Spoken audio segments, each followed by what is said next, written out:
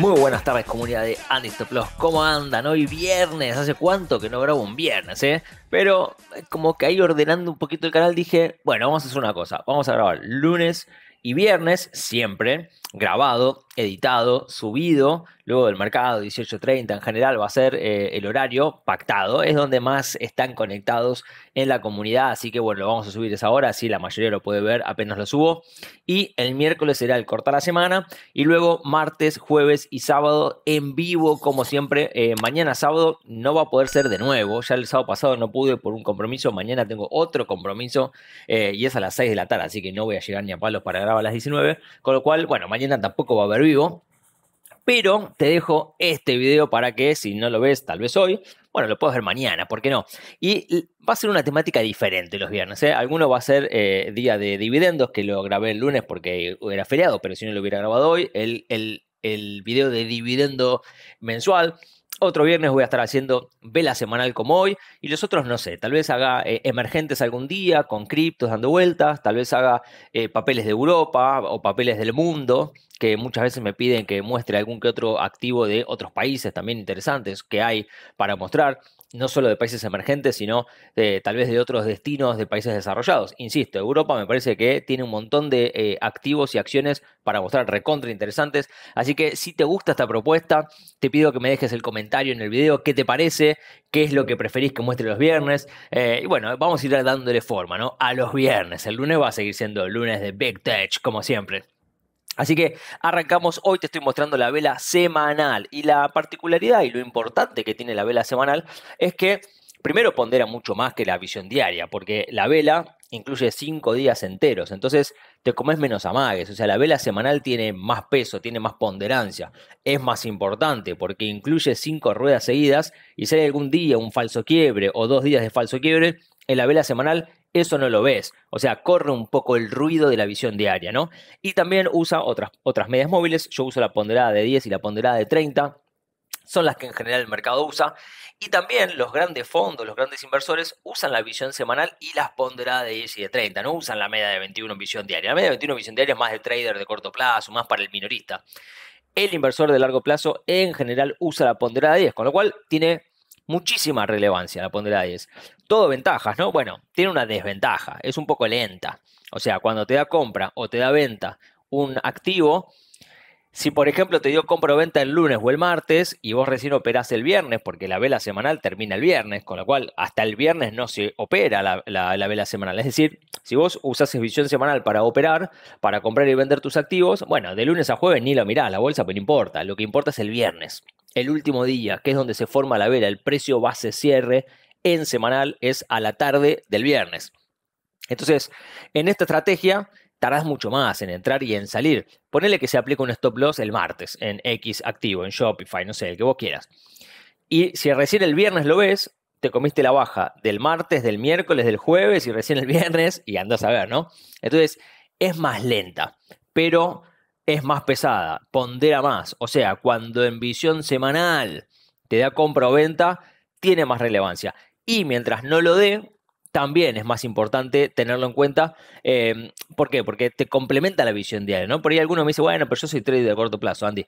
También te complementa. O sea, también cuando tenés dudas, decir, mm, ¿será mague o no será mague? ¿Qué hago con esto? Bueno, en la visión semanal te puede sacar un poco la duda, ¿no? Entonces, vamos a empezar a ver el Dow Jones el ticker es día, ¿sí? el ETF, que es exactamente lo mismo que estudia el Dow Jones. La ventaja que tenemos el Concord, volumen y algunas cositas que en el otro no me lo muestra. Eh, y acá tenemos la vela semanal muy linda, una vela verde enorme, cuerpo casi entero.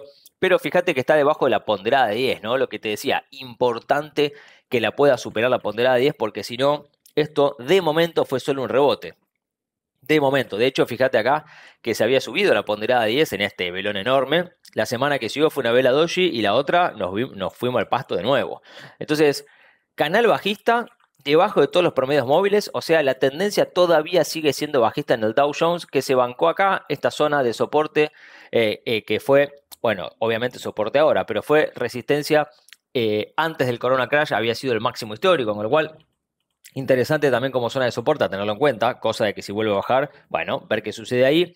Con respecto a los indicadores, RSI todavía sigue bajista, el MACD todavía sigue bajista y el Concord lo mismo. O sea, linda semana la de esta semana que pasó, lindo el rebote, pero por ahora y mientras no supere la ponderada de 10 precio base cierre, es decir, el viernes que viene, bueno, hay que tener cuidado, ¿eh? El QQQ, tecnológicas, bueno, lo mismo, ¿no? Clara tendencia bajista, con canal bajista acá, canal bajista acá, rebotando esta semana muy, pero muy bien, con una ponderada de 10 que todavía no llega a ir a pasarla. Los 296 dólares con 10 está a precios de hoy. Ahora, sigue estando dentro de un canal alcista, de una tendencia alcista iniciada ya en marzo de 2009, ¿no? Entonces, y de hecho está cerca del el piso. Ahora, ¿eso es suficiente como justificación para decir que acá ya nos vamos? No. Hay que tener cuidado. El mercado entró en un bear market la semana pasada. ¿Fue falso quiebre? ¿Fue una trampa para osos? Ahora lo vamos a ver en el S&P. Pero acá lo que podría hacer es efectivamente rebotar o la semana que viene podría volver a la baja y hacer esto y quedarse por acá dando vueltas un rato hasta que finalmente despegue. Digo, no sabemos lo que va a ser el mercado. La semana que viene, menos, o sea, no sabemos cómo va a terminar hoy. Imagínate la semana que viene. Ahora, en, visión diaria, y te, muestro ahí un token sound de, visión diaria, superó la media de 21 y esto te estaría dando compra de corto plazo. Sin embargo, fíjate esa línea de tendencia que nace ahí, esa línea de tendencia que reconoce acá solo dos contactos, no está tan validada, abajo reconoce ahí, y estaría formando una especie de canalcito a la baja, no tan validado, es cierto, medio de bilucho, pero tiene que pasar esa zona, ¿no? Tiene que pasar la zona de los 297 dólares más o menos, que si vamos a eh, la visión semanal, tiene que ver con la zona de los 296, ¿no? 297, la pondrá de 10, básicamente. Entonces, mucho, pero mucho cuidado, que esta semana fue una muy buena semana, fue una semana de eh, recorte, de las bajas, de rebote, pero por ahora, todavía, hasta hoy, ojalá la semana que viene te diga algo distinto y te diga, che, ahora sí estamos arriba de la ponderada de 10, ahora sí está dando compra. Fíjate que estas dos semanas intentó superar la ponderada de 10 y no pudo. Y la última vez que estuvo arriba, que fue esta semana de acá, la del 4 de abril, la siguiente la perdió, ¿no? O sea, estuvo, eh, y de hecho estuvo un par de semanitas acá arriba la ponderada de 10, se volvió a caer, ¿no? Eh, entonces, desde el 4 de abril que no estamos arriba de la ponderada 10, hace casi tres meses que no estamos arriba de la ponderada 10, es importante que las supere para pensar en seguir subiendo. RSI por ahora sigue bajista, lo mismo que el MACD y lo mismo que el Concord. ¿sí? Acá aparece manos grandes llevando, es interesante. Esto también es algo que les vengo diciendo en los videos de Big Tech. El QQQ cerca del piso del canal alcista pasan a ser precios atractivos. No sé si de todos los activos eh, digamos, tecnológicos, pero sí muchos. Apple, por ejemplo, Microsoft, bueno, todos los que te pagan dividendos, Broadcom, eh, Intel, IBM, hay un montón, Qualcomm, que te pagan dividendos y que son tecnológicos, que me parece que a estos precios son oportunidades para acumular. O sea, eh, en el video de ayer, en el vivo de ayer, si no lo viste, te invito a verlo, te decía que en este mercado bajista no todo destruyó hay algunas acciones que han subido o que se han mantenido laterales, por ejemplo Visa, Mastercard, entre otras, ¿no? Pero digamos, no es se perdió con todo. No, no. Si estuviste bien posicionado, si supiste en dónde invertir, no te fue tan mal. ¿sí? No te fue tan mal. Inclusive te pudo haber ido bien, inclusive. ¿eh? Y acá te digo lo mismo. No todas las tecnológicas destruyeron. No todas. IBM, de hecho, está superando una resistencia dinámica histórica. No lo vamos a ver hoy para que no sea tan largo el video, pero anda a mirarlo y vas a, darte cuenta que no todas destruyeron de esta manera. Entonces, hay algunas que en estos precios me parecen que son muy atractivas para eh, acumular. Y finalmente el S&P, y luego vamos a ver algunos activos en particular, también está dentro de un canal y una tendencia bajista, debajo de la ponderada 10, linda la vela semanal, cuerpo entero, verde, hermosa, pero ojo, porque acá también hizo algo parecido. La semana que siguió fue Doji y la otra nos fuimos abajo de nuevo, ¿no? Entonces, de hecho, en estas tres semanas en ninguna pudo pasar la ponderada de 10 eh, con autoridad. O sea, porque acá podríamos decir, bueno, más o menos ahí estuvo ahí, ¿no? Pero las otras dos terminó abajo. Entonces, acá también, desde que terminó la ponderada, de, desde que perdió la ponderada 10 ahí el 11 de abril, nunca más la recuperó la ponderada 10. Es muy importante que la recupere para que, eh, bueno, pensemos en que esto haya terminado el bear market. Empezó de verdad el bear market. Sí, mira, acá me confirmó esta vela semanal que terminó debajo de los 3.84 y comenzó el bear market. Está bien, pero esta vela semanal está recuperando. Esto te decía también en el cortar la semana, en el video que hice el miércoles. Si terminase esta vela semanal, o sea, hoy, arriba de los 384, te dije el miércoles, sin, sin tener la vela de ayer que fue buena ni la de hoy, ¿eh? el miércoles te lo dije. Si esto termina arriba de los 384, podría estar anulando el bear market. Podría estar trayéndome la posibilidad de que esta ruptura fue un falso quiebre, fue lo que se llama una trampa para osos, un eh, bear trap, ¿sí? Trampa para osos. ¿Qué es eso? Que como empezamos el bear, salen todos a sacarse encima los papeles, a vender, eh, y se desprenden de todo, los que saben y manipulan el mercado, te los compran baratitos y a partir de acá arranca la fiesta y vos te quedaste afuera. Bueno, esa es una posibilidad. La otra es que en realidad es un bear market y que esta vela de acá está haciendo un bull trap, una trampa para toros. ¿Y cuál sería la idea? Que vos te creas que el otro fue una trampa de osos y hoy digas, no, pará, recuperamos, pim pam pum, meto toda la liquidez, compro todo como un campeón y en realidad las manos grandes se están aprovechando para irse porque saben que esto sigue para abajo. ¿Cuál de las dos opciones? No lo sabemos, yo no lo sé, no lo sabe nadie, el mercado lo sabe nada más, pero ¿quién es el mercado, no? Bueno, eh, entonces, como no sé, tengo que seguir operando por metodología y no por emociones. ¿Qué me dice la metodología? Que mientras esté debajo de la ponderada de 10, yo no me tengo que meter todavía. Más vale esperemos una semana más la confirmación de que eso fue una trampa de osos y que no fue un, mercado bajista, no entramos en bear market, sino que fue una bear trap y nada más, ojalá. Pero eh, no lo sabemos, entonces esperemos hasta la semana que viene a ver qué pasa. Por ahora, esto es un rebote, no es ni reversión alcista ni nada. Por ahora seguimos en tendencia bajista, ¿sí? Eh, y tenemos un RSI que sigue bajando, tenemos un MACD que sigue bajando y un Concord que también sigue bajando. Eh, no, no decía así la canción. Bueno, qué grande. Eh, me, da, me doy vergüenza ajena, muchachos, a veces sucede. Bueno, eh, pero por lo menos me divierto, ¿no? La alegría. Es, es, que hay muchos ejercicios de coaching que te hacen a propósito, ¿no? Generar escenas o situaciones donde te dé vergüenza a propósito para cruzar esa vergüenza y que entonces de esa manera te habilite a vivir otras emociones que no las vivís por vergüenza, obvio. Eh, como por ejemplo, bueno, ¿qué te genera, no? ¿Qué te genera hacer el ridículo? Bueno, un montón de cosas copadas de coaching que no nos vamos a meter ahí porque me voy para cualquier lado del video, pero a mí me pone muy, pero muy feliz este, hacer payasadas. Bueno, volvamos y, y no hagamos payasadas ahora, seamos serios y profesionales, con lo cual te voy a estar mostrando Apple. El, primero de los cinco activos que vamos a estar viendo hoy. Eh, Apple también viene en una tendencia correctiva y bajista. Linda vela semanal. Pero también estamos abajo de la ponderada de 10, que estamos en los 142 dólares con 83, la ponderada 10.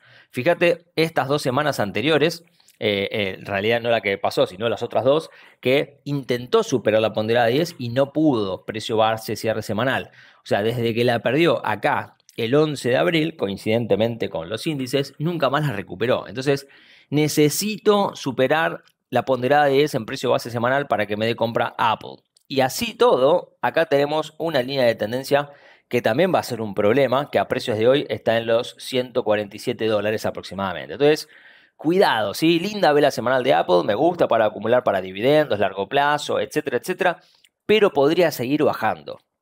Entonces, tengo que esperar. Hoy todavía no me confirma compra Apple, que tenemos un RSI bajando, que tenemos un MACD bajando y que tenemos un Concord también bajando, que acá salió del mar, pero bueno, por ahora no me da tendencia alcista, ¿sí? Entonces, en visión semanal, como te decía, se aclara bastante el panorama. Todavía no me dio compra. ¿Sí? Porque acá, por ejemplo, te debe haber dado compra en visión diaria, por ejemplo, y fue un amague porque siguió para abajo. En visión semanal te comes muchos menos amagues muchos menos amagues. Pero bueno, tarda más. Si efectivamente esto fuera reversión alcista y ya te dio compra en visión diaria ayer, bueno, eh, más en entrar. Obviamente eh, la suba inicial te la perdés, pero una vez que, confirma visión semanal, es mucho más interesante. Obviamente también, insisto, te comes amagues, pero son menos, son menos. Así que Apple por ahora no te está dando compra. El siguiente papel también un Big Tech es el caso de Google. Y acá también, ¿no? Luego de la suba, como venía del de, eh, Corona Crash, hicimos una lateralización y empezó a bajar, empezó a corregir, lo cual se puso bastante atractiva y desde la mirada de análisis fundamental, inclusive barata, barata desde lo técnico, barata desde lo fundamental. Y esta semana está terminando arriba de la ponderada de 10, que está en los 2.253 dólares a precios de hoy. Yo ayer y antes de ayer, en los videos que mostré a Google, te decía que tenía que pasar los 2.252 para dar compra. Bueno, está dando compra, efectivamente, está subiendo de manera interesante. Ahora, dos cosas a tener en cuenta. Si bien está dando compra por la ponderada 10, que yo te digo que es interesante e importante hacerlo, está lateralizando y la ponderada 10 está horizontal. Con lo cual, cuando la ponderada 10 o la media 21 o cualquier otra eh, se pone horizontal, no es tan relevante. ¿sí? No es tan relevante. Y acá tenemos una línea de tendencia que no pudo pasar en tres oportunidades. Acá si la, si la seguimos trazando, digamos, llega a el, la siguiente mecha. También tenemos este piso del canal desdoblado que está ahí nomás, está acá nomás. Y para arriba, bueno, cerca tenemos la ponderada de 30, ¿no? Que eh, está no tan lejos. O sea, ¿te está dando compras? Sí. Pero seguimos estando en una zona conflictiva, una zona de resistencia dinámica, etc. Con lo cual, quien quiera acumular Google está muy bien, pero el riesgo es elevado. No está tan claro que esto es reversión alcista, no está tan claro que te está dando compra, ¿sí? O sea, yo, no, yo por lo menos no lo veo tan claro. Eh, se viene el split, esto es cierto, igual falta todavía, ¿no? Va a ser allá el 18 de julio, o sea, quedan tres semanas, con lo cual esto podría volver a bajar para después sí volver a subir, o por lo contrario, la semana que viene confirmaría el mercado que esto es una reversión alcista y nos iríamos a buscar la ponderada de 30 que está en los 2.465 dólares. Así que toda esta zona de acá a mí me parece que era una zona atractiva, lo he dicho, para acumular papeles entendiendo una estrategia de mediano largo plazo. ¿sí? Eh, así que bueno, me gusta Google. A mí estos precios me gustan, pero de corto plazo no sé si no va a seguir bajando. Yo, si, si hoy fuese el día donde decís, che, ¿compro Google o no? Yo te diría, esperemos hasta la semana que viene. Esa por lo menos es mi mirada, ¿no? RCI bien, que se pone alcista. Esto sí me gusta un MACD que todavía no, está pegando la vuelta, pero todavía no se pone alcista, o no te da compra, y Concord tampoco te da compra todavía, manos grandes llevando. O sea, esto me gusta. Entonces, em, bueno, habría que ver, ¿no? Si conviene llevar hoy o no. En lo particular, me parece que, de hecho, cuando mires este video, que ya va a haber cerrado el mercado, esperaría la semana que viene a ver qué está sucediendo. Y finalmente de las Big Tech, y después vamos a ver dos más de otras industrias, tenemos a Tesla. Que Tesla, bueno, después de una extraordinaria suba allá por todo el año 2020-2021 eh, y un periodo de eh, lateralización, de descanso, vuelve a la suba. Eh, con excelentes y extraordinarios balances, empezó a dar ganancia, abrió una otra fábrica en Alemania, etcétera, etcétera, incrementando producción, ventas. Bueno, llegamos a este último periodo que tiene que ver con una baja que en el caso de Tesla se adelanta un poquito a la baja de mercado, arranca en noviembre de 2021. Tenemos canal bajista que desdobla, ¿sí? es un canal bajista desdoblado. Se bancó toda esta zona del piso de este canal bajista en coincidencia con este soporte dinámico que viene y que es una cuarta aceleración, las aceleraciones que, que muestro siempre en los videos de los lunes de Big Tech. Ahí profundizo un poco más esto si lo querés ir a ver. Y tenemos a Tesla que no puede pasar la ponderada de 10 por ahora, que está en los 736 dólares 73, y mientras no lo haga, no te va a estar dando compra. Fíjate qué importante que es la ponderada de 10 que no la está pudiendo pasar. O sea, verdaderamente es muy importante que la supere para que te dé compra. Por ahora no lo está haciendo, por ahora no te está dando compra. Si lo hiciese, va a venir a enfrentarse a la simple de 50 y a la ponderada de 30 y luego el techo del canal como máximo objetivo de trade. O sea, llega acá y nos vamos. No importa si rompe o no rompe. Hay que irse ahí, ¿sí? RSI que por ahora no te da compra. MACD empieza a pegar la vuelta, pero lejos, ¿no? Todavía. Y el Concord tampoco te da compra por ahora. Entonces, nada en Tesla me dice, compra, por ahora. Podría volver a la baja, podría volver a testear los 635, 620 dólares y habría que ver qué hacer, ¿no? En ese momento. Y también la semana que viene, si el mercado confirma, bueno, podría romper la ponderada de 10 y ahí sí te daría compra. Pero hay que esperar, hay que seguir utilizando el método, no comprar por emociones, porque uno podría creer, no, listo, yo no me quiero perder la fiesta, entro hoy, te estarías apurando, ¿sí? Te estarías apurando. Hay que seguir eh, operando por metodología, no por emocionalidad. La emoción no es una buena consejera de las inversiones hay que seguir operando por método. Por algo existen las medias móviles, por algo existen los gráficos, los indicadores, etc. Se usa mucho em, en algoritmos. Eh, de hecho, hay un montón de bots eh, operando en, los brokers grandes y en los, em, y en los fondos. Y los robots operan por análisis técnico, básicamente. O sea, tienen todos los parámetros establecidos y si pasa esto, pasa esto, y si no, no, etcétera, etcétera. Con lo cual, nosotros de alguna manera, si operamos por análisis técnico, tenemos que operar de la misma manera. Así que por ahora Tesla es para mirarla de afuera. Y vamos a ver las últimas dos. Una de la industria financiera, la tan querida Berkshire Hathaway, o como se pronuncia, Berkshire Hathaway. Eh, bueno, que es la empresa ni más ni menos de Warren Buffett, ¿no? Em, Warren Buffett, ¿qué hace con esta empresa? Bueno, compra, invierte, eh, tiene cartera de, inversiones, portfolio de inversiones, eh, y bueno, ya te lo mostré, ¿no? En lo particular, siempre va para arriba, siempre crece, crece, crece, crece, crece. Bien Warren, por algo lo seguimos tanto y lo queremos tanto al amigo Warren, pero luego de todo el crecimiento que ha tenido y un descanso previo al último gran swing alcista, está corrigiendo violentamente. Violentamente está corrigiendo. Bueno, ¿cuándo va a frenar la paliza? ¿no? Violentamente, ¿cuánto es, Andy? Mirá, bajó 26% en, en dos meses poquito más de dos meses, o sea, bastante corrigió. Y se estabilizó en una zona que tiene que ver con toda esta zona de acá, que es entre los 272 y 267 dólares. Fíjate que ahí se estabilizó, ¿no? Que había sido también acá máximo eh, y había bajado, acá otra vez testió en esa zona. Así que acá frenó y me gusta. Y ayer les decía en mis distintos servicios de alertas, me gustan estos precios para ir em, empezando a acumular. ¿Por qué empezando? Porque bueno, la posibilidad también es que siga bajando hasta este otro soporte eh, que tiene que ver con el viejo, la vieja resistencia o el viejo techo que tenía Berkshire antes de que lo rompa toda esta zona y después, bueno, se fue, ¿no? O sea, lo que antes fue resistencia y lo que en el pasado fue resistencia importante, pasa a ser soporte importante. Entonces, linda zona, sí. ¿Quiere decir que a partir de acá sube? No, de hecho está en una clara tendencia bajista, debajo de los tres promedios móviles en visión eh, semanal. O sea, no, hay duda que está en tendencia bajista.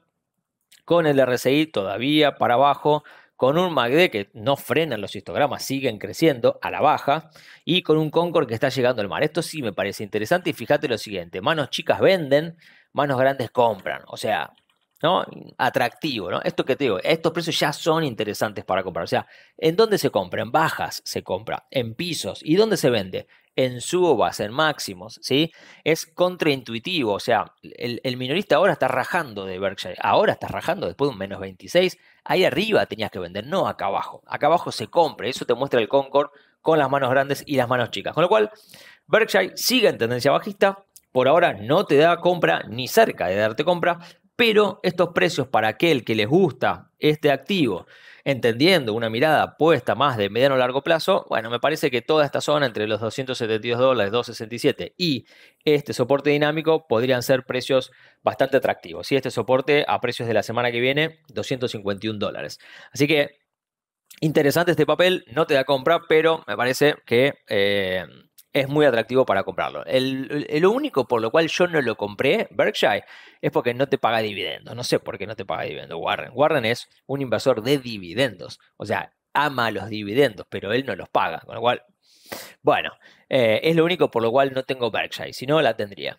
Y último activo del día de hoy en velas semanales, vamos a estar viendo AVI, laboratorio AVI, que tenemos resistencia, resistencia, resistencia, se transforma en soporte, soporte, y acá lo rompió la semana pasada y esta semana lo vuelve a recuperar, eh, sentenciando la semana pasada como un falso quiebre de esa resistencia importante. Fíjate, arranca desde eh, febrero de 2020, lo que fue resistencia y después un soporte, y tenemos un velón enorme en AVI, en visión semanal, hermoso, ya te dio compra ayer igualmente por visión diaria pero por visión eh, semanal te está dando compra hoy, superando en la misma semana la ponderada de 10, la ponderada de 30, con una vela de cuerpo entero hermosa, con eh, indicadores, bueno, el RSI todavía está bajista, MACD que también, pero aparece un histograma subiendo, y un Concord que tampoco te da compra todavía, manos grandes llevando fuerte. O sea, fíjate que los indicadores todavía no te confirman, porque los indicadores van un poco más lento. Pero se puso alcista de nuevo, un papel que viene subiendo un montón hace rato. ¿eh? Bueno, acá obviamente la corrección de 2018, eh, eh, que fue la corrección eh, fuerte, el pasaron cosas de Mauricio, etc. Bueno, fue una corrección importante, ¿no? 2012 arranca este papel, no porque sea joven, de hecho tiene años, lo que pasa es que hubo una división de las empresas entre Abbott y Avi, ¿sí? antes eran el mismo laboratorio, a partir del 2012 o 2013 se separan, por un lado va Abbott, por otro lado va Avi, eh, y por eso el gráfico es tan cortito. Pero desde que nació, fíjate que lo único que hace es crecer y subir, ¿no? Con lo cual, me gusta mucho este activo para un mediano o largo plazo eh, y también para cobrar dividendos. Se viene el dividendo el mes que viene de Avi, paga eh, lindo dividendo, pero no, no tanto por el dividend yield, que igual está bueno el dividend yield, casi un 3% de dividend yield, lo cual estamos, digamos, de la media para arriba. No solo por eso, sino porque te lo incrementa de manera generosa año tras año. Eso sí me gusta para una estrategia de dividendos. Y más si es un activo que sube y sube y sube. Olvídate. Así que todo bien para Avi. Me gusta. Si termina así, todavía falta que termine el mercado. Son las 2 y media de la tarde. Tendría que pasar alguna catástrofe para que esto termine distinto. Pero podría ser, ¿sí? No sé cómo va a terminar el mercado, no sé el futuro. Pero si termina así, te está dando claramente eh, compra. Después, bueno, cuando miren el video ya va a haber cerrado y ya lo van a poder ver. Eh, uy, ¿por qué no subiste el video antes, Andy? Así podía comprar. No importa, la visión semanal no importa. Puedes comprar el lunes, no te preocupes, no hay ningún inconveniente.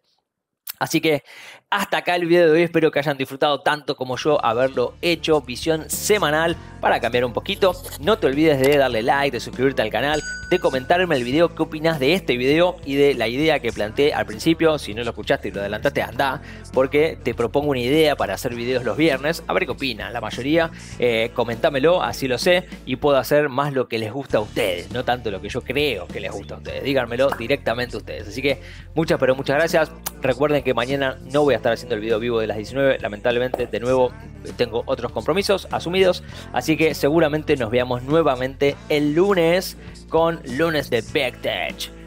Gracias y chao.